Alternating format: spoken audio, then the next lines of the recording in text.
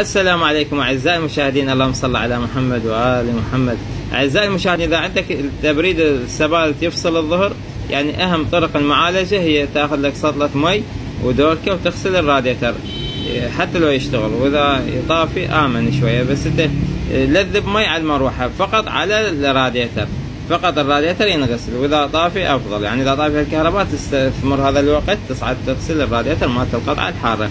وخاصة أثناء الجو الحار والرياح هاي الشرقية اللي رطبة جدا. المفروض هسه الراجع مالت السبلت يعني البوري العريض لازم يكون معرق. إذا ما معرق معناته هذا منقص غاز. لأن هسه هم الجو رطب والمفروض هسه الضغط عالي والمفروض يعرق الظهر. إذا ما معرق الظهر البوري العريض مالت السبلت هسه معناته هذا منقص غاز مية بالمية. وإذا ما إذا ظلت الفصله معناته هذا احتمال الكنديسر يكون ضعيف فيفحص الكنديسر.